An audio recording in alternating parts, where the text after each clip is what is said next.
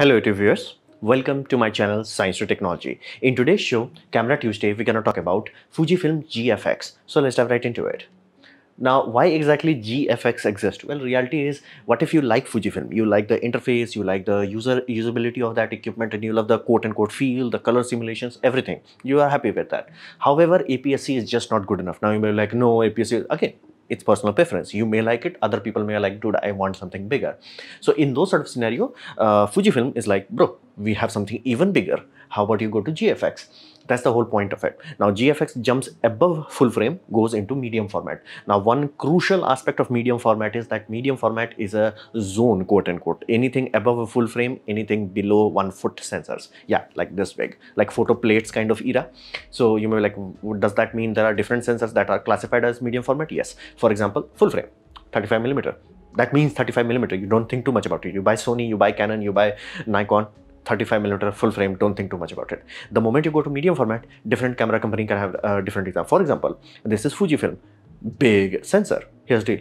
Phase one. Still medium format even bigger sensor. And again you can buy um, other camera camera companies uh, that can have like a Hasselblad that can have something in between or something even bigger than this. And all of them technically classifies as medium format. So be very mindful of that. Medium format is a zone, not an exact specification. Now, why the heck somebody would want to have something this big? Well, uh, current technology is really good, but we are really good at suppressing problems. For example, right now, if you ever saw any full frame camera, especially at around high ISO, around 2000 or 5000 ISO, you will be shocked if you saw the raw data as in like how much noise there is fundamentally. We are just becoming really good at, uh, you know, noise suppression with uh, proper measures and algorithms. But what if you did not have that issue in the first place? What if you're like, hey, how about the sensor itself is clean? That is a law of physics that will directly translate to your pixel pitch. Meaning, if you have 50 megapixel in this size versus 50 megapixel in this size, this fundamentally will have large photo sites compared to this one, inherently translating into better noise floor. So inherently, you can have 100 megapixel in this, 100 megapixel in this, but 100 megapixel on this will give you much better dynamic range, much better uh, noise floor. And I'm talking raw, raw data, as in like the data is clean. It just it does not require as much processing, as much uh, artificial look uh, like you know uh, in order to make it look good. Like think of this like how the heck apple that is like this tiny camera sensor somehow gives photos that are like damn good. Noise suppression so what if uh, there are people who are sensitive, specifically if you are printing things or if you are doing something that is very high end, very luxurious, people do not like that, that artificial look. You, you can tell it's like, dude, this photo does not look right. That's why people love negative. There are people professional who are still using negative for that exact reason. So that's the whole point. If you go to large formats, you have super high megapixel count and you can have very low noise floor, like very low and uh, why Fuji is making this? Well, very simple. There are other uh, systems, for example, Phase 1 and Hasselblad and some others also, but those are idiotically expensive, meaning you don't talk about cost because if you have to talk about cost, that means you can't afford it. They, uh, they're like really, really expensive, like 20,000, 50,000 or $100,000 kind of expensive. Yeah, ludicrously expensive. So from those point of view, basically people who are coming from digital medium format, they're like, dude, this is free. Take it and go. Take it and go. This is so cheap. And from anybody who's coming from full frame, this is like highest end full frame that you can buy. So that's the GFX era. So why the heck this company did this? Well, reality is APS-C always is looked as low cost and amateur equipment. Now you may be like, that's not true, does not matter. That's how the market sees it and it becomes a self-fulfilling prophecy. Meaning if people consider it as a low grade equipment, they will never buy high-end lenses for it. If you do not have enough money flow in due to sales of lenses, there won't be next generation lenses. And then it will become a self-fulfilling prophecy because full frame will keep going through iterations like Mark 50 while your uh, you know APS-C lens would be barely at Mark 3 and Mark 4 and people like, dude, look at the quality. So that's the whole point. And that's reality. And that's the primary reason why micro four third fizzled out. Right now all micro four third is is just a video format that people uses with adapters with for uh, like you know ef lens mount. That's the whole thing. APS-C has that stigma to it. And be mindful APS-C is not the first time digital happened. Uh, APS-C sensor size already came in the long ago of negative era meaning there were film rolls for APS-C size. That also did not take off. So fundamentally is just not good. Now, there is another aspect from economic side of view from Fujifilm, meaning Fujifilm is what? A company. What is a company for? Profitability. Now, company never wants to sell you a very low uh, price product. It's always bad. They always want to sell you what we classify as halo products, meaning they spend, they make one item, they have to spend for one item's shipping cost, one item's uh, inventory cost, everything one, one, one, but the profit they get out of it is huge. Now, if you are talking about, let's say, Nikon D3100, company has to make 100,000 of them, sell them, then they will get barely any profit barely. But if you are selling something that is idiotically expensive at that point your profit margin is huge. Because there is like you cannot drop price beyond a certain point because of physics because of economics because of fuel prices. But you can increase the price as high as you want to as long as people are willing to buy it. That's why every company wants to sell you like uh, you know sony a1 canon r3 and like you know nikon z1 so that's the whole point of it. The company always wants to be in that front where they're like it would be much better for them to sell just few thousands of z1s and they're like dude we're set we're set for this year so even Fuji wants that. Now Fuji has inherently stuck in a position where they're like they cannot charge four thousand or five thousand or ten thousand dollar for APS-C. People will like, dude, nah, nah. -uh. Now you may disagree with me, but market will say that otherwise, so to say. So flat out, uh, why didn't Fuji did what Panasonic did? Panasonic tried with uh, Micro Four Third, did not work out as they expected it. They jumped into full frame. Now, problem with that is full frame is you know full of well experienced company. Experience is one thing you cannot buy, and fundamentally you are talking about. I talked about lenses. Those lenses, full frame lenses, even Sony, which is the youngest one, there's already at Mark II lens series, and uh, compared to everything else like uh, you know Nikon and Canon, they may be Mark 15 or 16. So fundamentally, lens is the limiting factor in any technology because that creates your resolving power so in those sort of scenario, if Fuji wants to jump in, it will be stomped down without any issue. Like the sole, sole reason you do not see hundreds and thousands of, uh, you know, Panasonic full frame. That's the whole reason for that. Jumping into a field where everybody else is like very well trained, very like, you know, ready for combat. Yeah, you're going to be poofed out of existence. Like Sony was a very uh, unique miracle because again, they jumped into mirrorless before anybody else did. So they had early mover advantage and they did had enough tech experience to make it work with brute force but Fuji would not be able to succeed if they tried. So Fuji is like, hey, what if we offer something truly unique? Because I did specify, people are rich enough. It's just that, do you have something that I'm willing to buy from you? Like think of this way. If I say $10,000 car, you're like, I'm good. If I say $10,000 mobile phone, you're like, nah. That's the whole point. Uh, it's like, are you offering something for common people that people are like, you know what, I, I, I think I should buy it. That's the USP, unique selling proposition that people want to have that. So they directly jump from full frame to medium format and why the heck uh, jumped into this? Well, reality is they knew medium format is a zone kind of scenario. So they did, uh, did not make the sensor as big as possible. Benefit of that is their per unit cost is exponentially cheaper than phase one and Hasselblad. That created a scenario where they're like, dude, come to medium format without going bankrupt. That's awesome. And the price is not so high that people like, you know what, I really can't touch it that creates a scenario where they are making a halo product and selling a lot of it gg from a company's point of view that's the whole point why this company exists. Is like it's a medium format is here full frame upload how about a little bit up? How about you spend a little bit more money and jump into medium format? It's amazing business strategy. They are not they're not cannibalizing their own sales. That's another issue with uh, canon sony and nikon where they cannot truly make a good APS-C because they are like it will cannibalize our sales of full frame. And they cannot make truly good uh, lenses because again nobody has enough money where they can like okay let's do r&d on two lens lineups. Because ideally all you have to do is take dslr uh, full frame lens, put a teleconvert, uh, you know, field reducer, and then uh, plonk it as, as a like you know mirrorless APS-C sensor. Then you will have amazing quality, full frame like quality, but again expensive.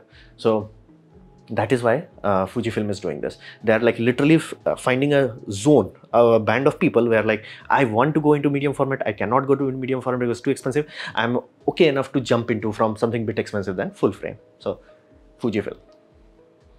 So what about the performance? Now let's be clear. If you are looking into the system thinking like this is gonna be the most amazing, the most badass performance, don't even think about it. Don't, just don't. No, just no. Flat out. If you compare this to Canon and Sony, it's gonna bitch slap this. So flat out, do not expect to buy this and I'm gonna like I'm gonna do amazing you know uh, photography of like you know sports event. No, it's not gonna happen. Like the rolling shutter on these puppies are so bad that if you are taking a photo of a truck uh, that is moving fast, your truck will look that's the whole point. It's not as high performance as that. Do not expect that. Now, what about pro level equipment? So like medium format, which is trying to compete against. Again, not even compared to that also. They're like, wait a minute, then why the hell?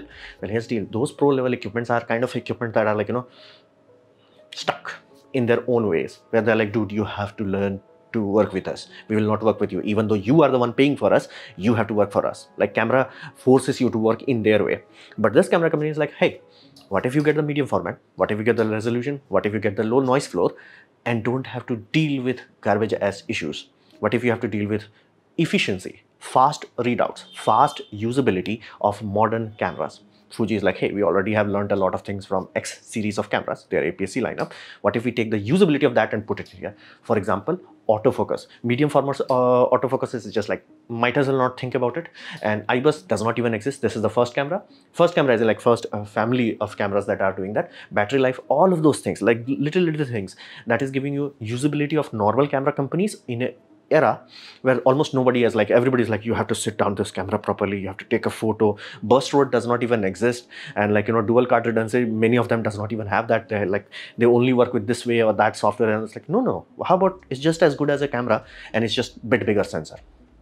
So it's band. There is a band like above full frame in terms of noise performance in terms of dynamic range in terms of megapixel and below the like a you know bank destroying bank balance so it's basically uh, extreme uh, stuck between two extremes, too high performance of full frame, but it's very expensive and uh, not as high performance as like, you know, medium formats uh, champions, but in between. And lens selection is growing because I specify nothing matters other than lenses. That's why Micro Four Thirds stuck. And that's why APS-C never truly actually grows. Uh, lens, if you do not have good lenses, it does not matter. Like for example, uh, I always specify lens is the resolving power limitation. Whenever you buy G lens, it's not very high resolution. Now like, wait a minute, lens has resolution? Yeah, that's why G master rating exists. G master is a mathematical concept that any lens that is certified for that, the glass quality of it should be high enough that it can resolve up to 100 megapixel. So if in future, uh, let's say they uh, created a scenario where they have like 100 megapixel or even 150 megapixel, it will actually resolve that power. Meaning you will be like, it's not just a bigger file, it's just actually clarity you can see. Lens requires that. So lens is the first thing you must understand. Now, Fujifilm is uh, known for making some good lenses, so they are making a lot of lenses at this point in time. They have four zoom lenses, which is almost unheard of in like you know uh, medium format era. Nine prime lenses. Now be mindful, do not buy into the system thinking that you're gonna get most amazing shallow depth of field. No, uh, like it can easily be bit slapped by f1.2 if you can buy f1.2 in your full frame uh, none of them can come close to it i specified. The specifically reason for buying this is a your field requires it. Meaning there are some scenarios where like dude you show up with full frame they're like does the door disappear? And in those sort of scenarios you have to come up with medium format. That's where you buy this. And you want to get low noise inherently inherently not by noise uh, you know reduction inherently low noise and very good dynamic range and idiotically large megapixel if you need. So 100 megapixel is a start. So that's the performance aspect of it so for whom this is? Well reality is a different kind of work environment. It's not specified to like go toe to toe with like you know nikon and canons and all that jazz. No flat out no. And it's don't even think about fast actions like 3 fps is the bust.